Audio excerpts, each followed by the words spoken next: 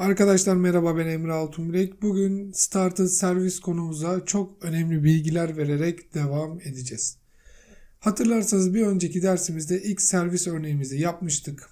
Neydi bu? Main Activity'deki bir butona tıkladığımda servisim başlatılıyordu. Diğer bir butona tıkladığımda servisim durduruluyordu. Servis sınıfım bu şekildeydi. Dilerseniz şöyle üzerinden geçerken bir yandan da emülatörden göstereyim. Emülatörü açtığımda ve Android monitörü açtığımda öncelikli olarak Start Servis butonuna bastığımda daha önceden bu servis yaratılmamışsa öncelikle onCreate metodu çağrılıyordu ve onStart command metodu çağrılıyordu. Ve ben arka planda yapmak istediğim işlemleri bu metodun içinde yapmam gerektiğini söylemiştim. Ve ne zamanki stop servis butonuna tıkladığımızda gördüğünüz gibi onDisplay metodu çağrılıyor. Şimdi ne yapmıştık? Ee, start servise bastığımızda şuradaki on start metodunun komandın çalıştığını söylemiştik. Yalnız dikkat ettiyseniz bu metot geriye integer bir değer gönderiyormuş. Peki ne gibi değerler gönderebilir? Hemen şuradaki dokümana bir bakarsak diyor ki bazen diyor Android işletim sistemi servisinizi durdurabilir e, düşük memori yüzünden. Tabii ki günümüzdeki cihazlarda çok olası bir durum değil ama eskiden kalma bir Kural bu. Bunun için bazı e, kontrol flagleri var. Yani kontrol bayrakları diyelim buna. Şurada 3 tane e, bayrağımız var. Siz eğer buraya start stick derseniz ki bunların her biri birer nedir? E, sabittir ve integer bir değere karşılık gelir. Start stick derseniz diyor ki olur da servisiniz kapatılırsa daha sonradan otomatik olarak çalıştırılır. Ama bununla beraber gönderdiğiniz intent yok olur diyor. Start Redeliver intent dediği servisiniz otomatik olarak çalıştırılıyor ve intentiniz tekrardan gönderiliyor diyor.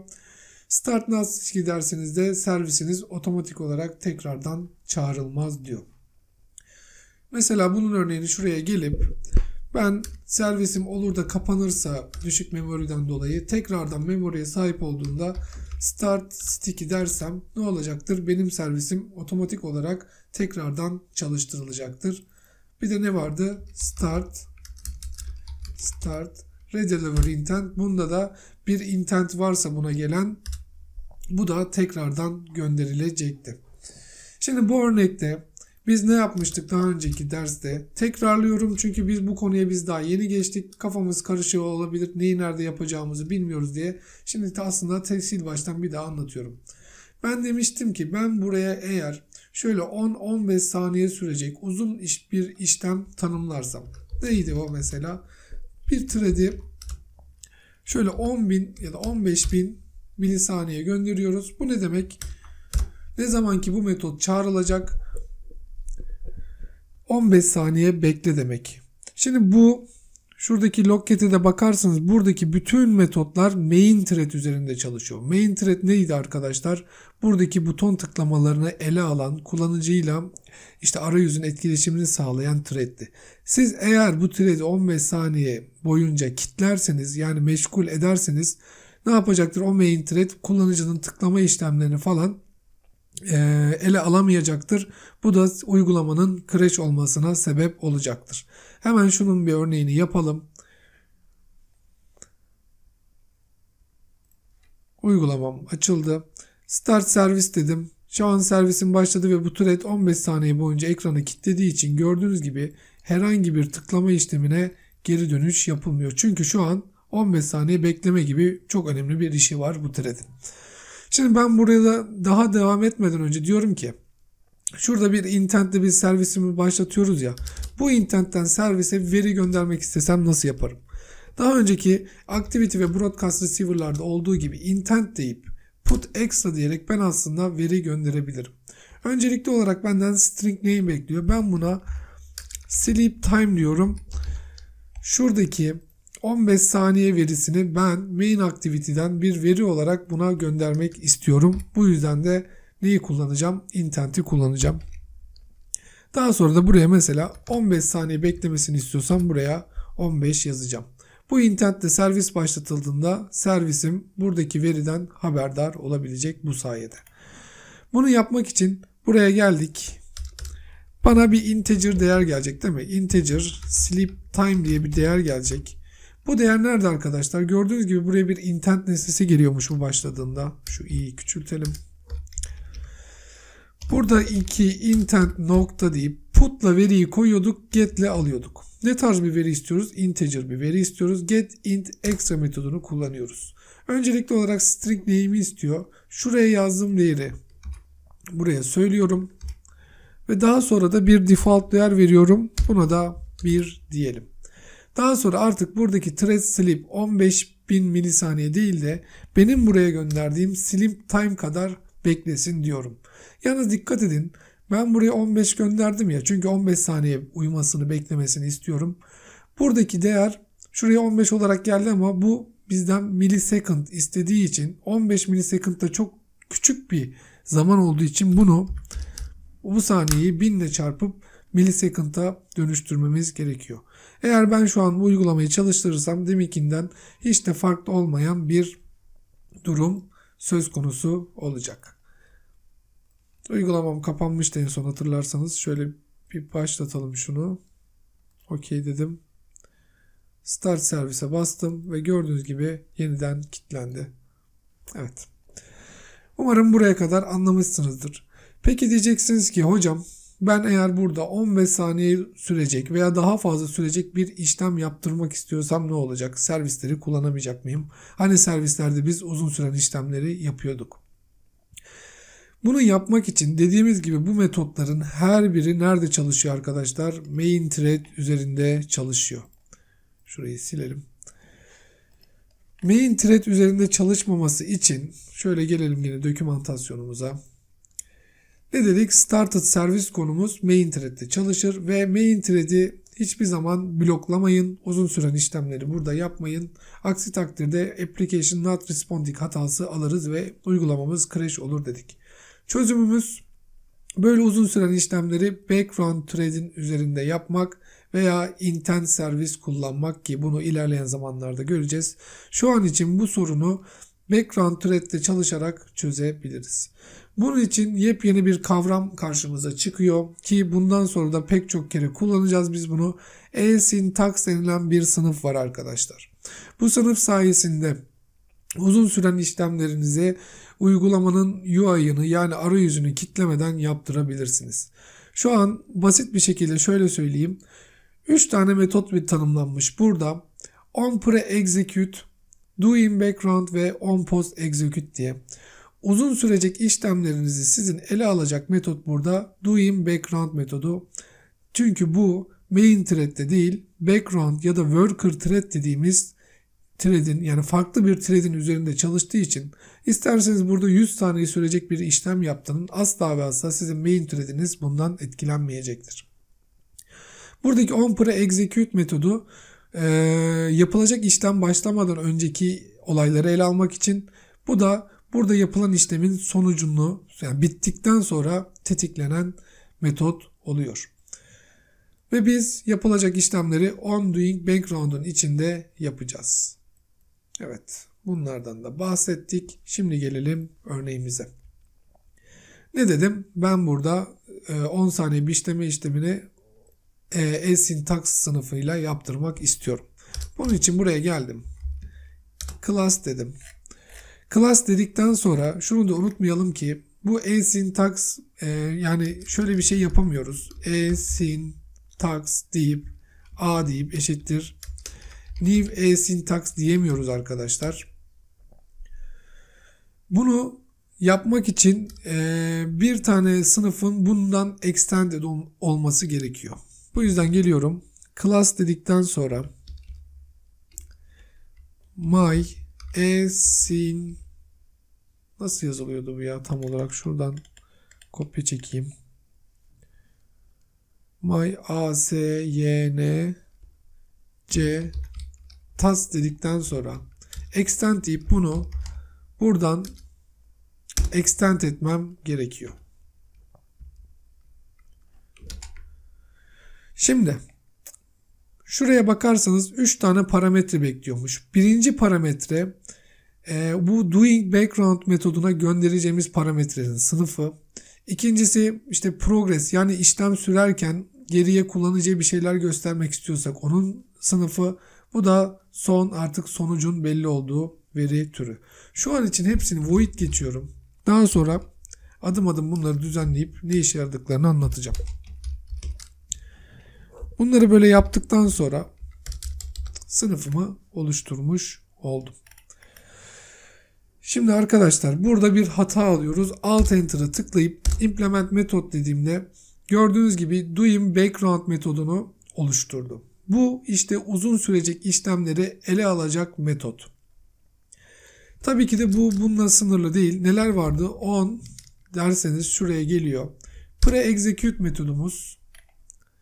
Hatta şuraya da şöyle bir tek açalım. Private final işte string tag diyelim bunun adına da. Ve bu tagin adı ne olsun? My sin pardon my asyntax nokta class nokta get simple name olsun. Ve her biri başladığında hatta şunu şuradan kopyalayayım. Her birinin adım adım ne işe yaradıklarını görelim. Bu sefer ne çalıştı? Şuraya onu silelim.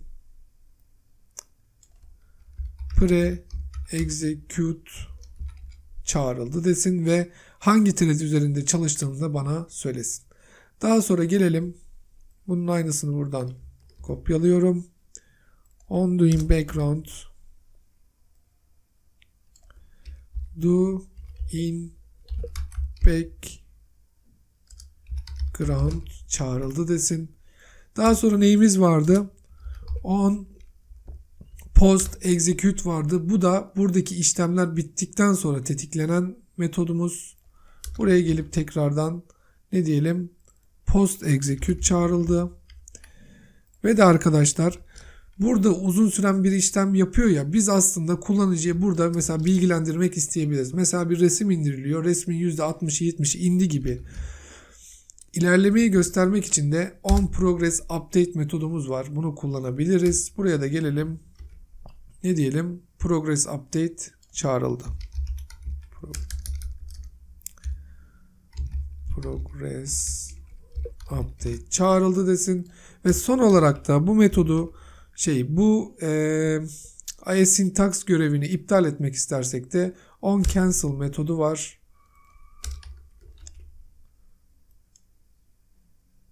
Cancel cancel çağrıldı desin. Umarım şu an için bunları anlamışsınızdır. Şimdi ne demiştik? Ben buradaki yaptırdığım bu uzun süren işlemi nerede yaptırmam lazım? Doing background'un içinde yaptırmam lazım. O yüzden ben bunları buradan alıyorum ve doing background metodunun içine yapıştırıyorum. Şimdi buraya e, sleep time parametresini göndermem lazım değil mi? Ya da bunu şunu bir dakika şöyle silelim. Şu an için herhangi bir işlem yaptırmayalım tamam mı? Şurayı da buradan alayım. Herhangi bir işlem yok. Buraya bunu nasıl çağırırız? Yeni diyorum. New dedikten sonra my syntax sınıfını çağırdım. Evet. Nokta dedikten sonra execute metodunu çağırmam gerekiyor. Ben bu metodu yazdığım zaman otomatik olarak ne olacak arkadaşlar? Doing background'daki kodlar işlenilmeye başlayacak. Umarım anlaşılmıştır. Şimdi gelin şöyle bir projeyi başlatalım. Başlatmadan önce bir de şey yapalım. Şurada log i diyor ya şunları e harfiyle yani hata olarak gösterelim ki diğerinden farkını anlayabilmek için hangi metotlar hangi sırayla çalıştırılıyormuş bir bakalım. Evet. Tekrardan projemizi başlatalım.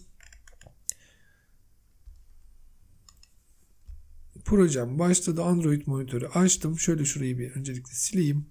Start Service'e bastım. Ne dedi arkadaşlar? Öncelikli olarak servis olmadığı için create etti ve on start komandı çağrıldı. Daha sonra biz on start komandının içine yeni bir asyntax e, nesnesi başlattığımız için öncelikli olarak pre-execute çağrılıyor. Gördüğünüz gibi bakın bunlar hep main thread üzerinde. Ne zaman ki doing background çağrılıyor ve bunun thread adını fark ettiyseniz main değil farklı bir thread üzerinde. ve buradaki işlem yapılan işlem bittiğinde de post execute çağrılıyor. Şimdi cancel ve on progress update'i kendimiz kullanmamız lazım. Yani default olarak bunlar tetiklenmiyor. Onları da göreceğiz. Umarım buraya kadar anlaşılmıştır. Şimdi ben ne dedim? Doing background'da ben 10 saniye sürecek ya da 15 saniye sürecek bir işlem yaptırmak istiyorum. Thread nokta sleep dedim. Ve buraya parametre olarak ben bu değeri göndermek istiyorum değil mi? O yüzden execute metodunu kullanabilirim. Şöyle açıklamaları var mı acaba? Yani buna göndereceğim parametre ne olacak? Şurayı keşke silmeseydik. Neyse yazalım bir daha. Integer sleep time demiştik. Eşittir. Intent'ten alıyorduk bu veriyi. Get into extra deyip bunun adı da neydi arkadaşlar? Sleep time'dı ve default olarak da bir değerini veriyorduk. Şimdi ben buradaki değeri doing background'a göndermek istiyorsam buraya parametre olarak yazıyorum. Yazdığım zaman bir hata alıyorum. Neden? Çünkü ben doing background'un integer bir parametre alacağını söylemedim. Void demişiz. Burayı o zaman ne yapacağız? Integer olarak değiştireceğiz. Yani sen çağrıldığında sana integer olarak bir değer gelecek. Burası da kızardı. Çünkü buradaki ilk parametre doing background metodun alacağı parametrenin türünü gösteriyordu. Void olmayacak da integer olacak. Gördüğünüz gibi hatalar gitti. Ne anladık yani burada? E-syntax'ta ilk parametre doing background metodunun alacağı parametrenin türü olması gerekiyor. Peki bu 3 nokta ve params ne? Yani siz buraya birden fazla sleep time, ıvır zıvır yani integer 3-4 tane değer gönderdiyseniz bunlar params diye bir diziyle gelir. Ve biz bu değeri burada almak için yine buraya geliyorum. Diyorum ki integer sleep time bunu şöyle yapalım. Sleep time eşittir. Şuradaki params dizisinin neyinci? Sıfırıncı elemanı. Eğer ben buraya 3 tane parametre gönderseydim params 0, params 1, params 2 diye sırasıyla bu parametreleri burada değişkenlere atayabilirdim. Daha sonra da bu silibede bunu ne yapıyoruz? Parametre olarak gönderiyoruz. Alt enter'a basıp ilgili try catch metodunu da yazdık. Ve ne demiştik? Sleep time e, buraya e, integer olarak giriyordu. Bunu 1000 ile çarpmam lazım. Şu an ben main aktivitede ne yapmışım? 15 değerini göndermişim. O oradan servisime geldi. Servisimden de e-syntax sınıfımın içine geldi. Şimdi çalıştırdığımda ne, ne bekliyorum aslında? UI'ın yani kullanıcı arayüzünün kilitlenmeden arka tarafta 15 saniye beklemesini bekliyorum. Monitörü şöyle bir daha silelim. Start servis dedim. Bakın bunlar hala tıklanıyor. Şu an doing background 15 saniye boyunca işlem yapıyor. İşlem dediği aslında uyuyor ama orada siz büyük bir işlemle yapıyor olabilirdiniz. Ne zaman ki 15 saniye bitecek. Gördüğünüz gibi bunlar her hala kilitlenmiyor. İşlem bitti ve post execute'ü bitirerek e, sınıfım işlemini tamamlıyor. Stop servis dediğimde de servisi durduruyorum arkadaşlar. Umarım şuraya kadar her şeyi anlamışsınızdır. Hani bunu daha fazla uzatmayacağım. E, çünkü yapacağımız daha şeyler var bu konuyla ilgili. Bunları da bir sonraki derste anlatacağım. Ama şu an için burayı anladıysanız çok daha hızlı bir şekilde ilerleyebilirsiniz. Dediğimiz gibi e-syntax'taki bütün metotlar yine aslında main thread'de çalışıyor. Yani main thread'de kullanıcı arayüzüyle etkileşimini kesmiyor.